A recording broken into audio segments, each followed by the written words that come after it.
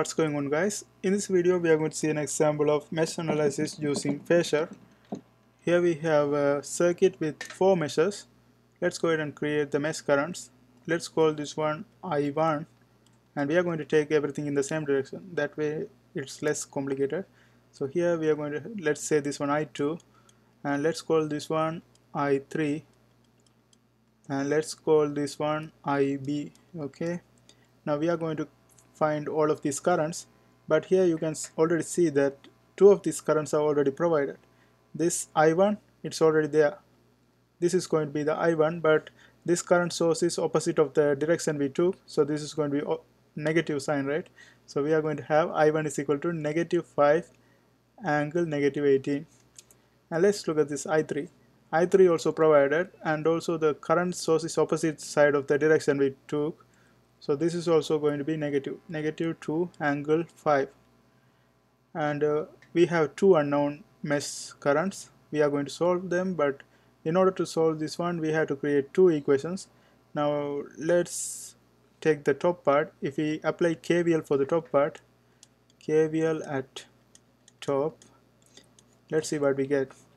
So first uh, we have two impedances because in Phasor these all of them are impedances. I mean all of the this uh, inductance or capacitance that is impedance right? So impedance is treated same as resistance. When we have impedance in series we can add them together.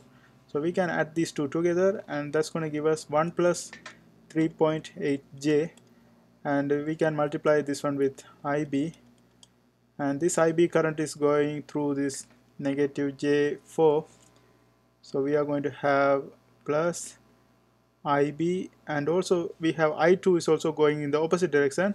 So we are going to have negative J4 times IB minus I2 okay? And that's it. That's going to be equivalent to 0 so this is KVL at top. Let's try to simplify this one. Here we have IB and uh, we have 3.8 JIB 3.8 JIB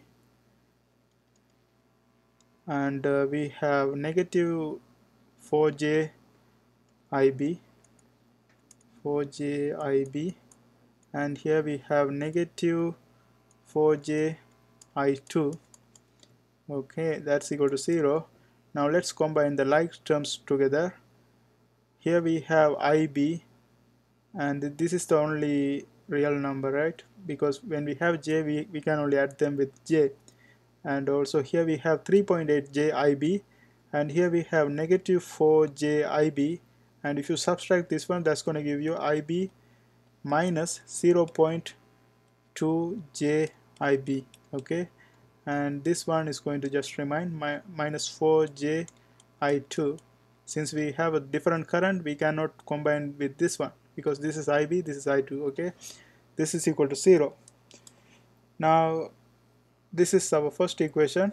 Also we can write this one as like we can take 1 minus 0.2j and we can multiply this one with IB minus 4j I2 is equal to 0 okay this is let's call this one equation 1 this is our equation 1 now we are going to apply KVL in the this bottom part. If we apply let's see what we get. KVL at bottom. So we are going to apply KVL for the bottom part. Let's start with J4 negative J4 and uh, that's multiplied by I2 and IB is going in the opposite direction. So this is going to be minus IB and then this is going through this 2 ohm resistor right? In the 2 ohm resistor we have 2 times plus 2 times I2 minus I3 but we already know the I3 value. That is negative 2 angle 5 so negative negative that's going to make this one positive positive 2 angle 5 and that's through this one. After that if we go through this one this is going through this J2 in J2 let's put plus J2 times I2 and uh, we have I2 but I1 is in the opposite direction right? But I1 we already know that is negative 5 minus 18 angle. So this is going to be minus minus this one. That's going to make this one plus. Plus 5 angle negative 18 and that's equal to 0 now let's try to simplify this one. If you multiply this one this is going to become negative 4j i2 and here we are going to have plus 4j ib and this is going to become plus 2 i2 and 2 times 2 angle 5 that's going to become 4 angle 5 and here we have j2i2 j2i2 and for the second one like j2 times 5 angle 18 you have to use the complex number calculation using calculator.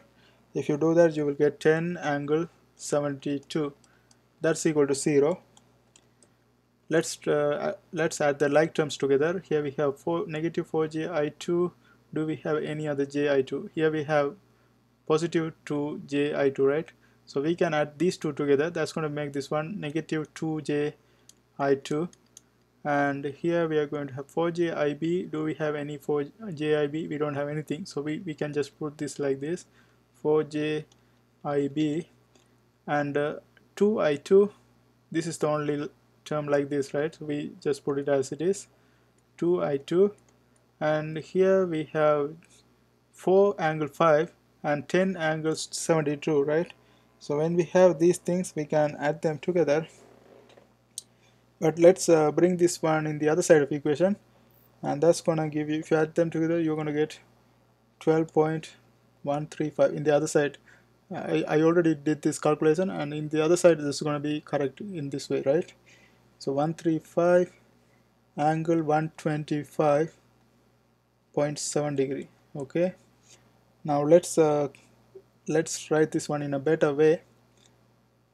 Here we can put 4 JIB and here we have negative 2 2i2 negative 2j2 we can combine this, combine these two together. This is going to be 2 minus 2j all together i2 and we are going to have this 4j ib and that's equivalent to this 12.135 angle negative 125.7 degree okay?